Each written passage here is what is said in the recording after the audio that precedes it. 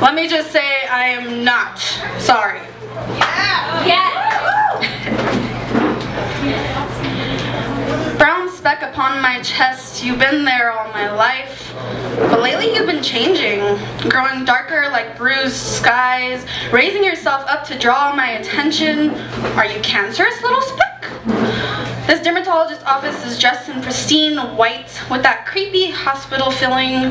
Dr. Noel leans in with cold hands, the worst thing a dermatologist can have, and needle.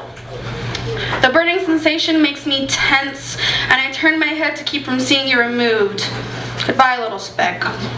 You bleed and itch, and I have to keep you covered with band-aids that rip my skin. I miss my little speck. But like my mom says, if you're trying to kill me, you kind of gotta go.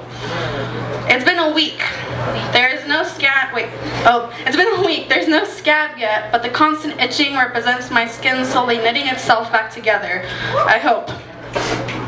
One more week to go, one more week to go, and I got the news.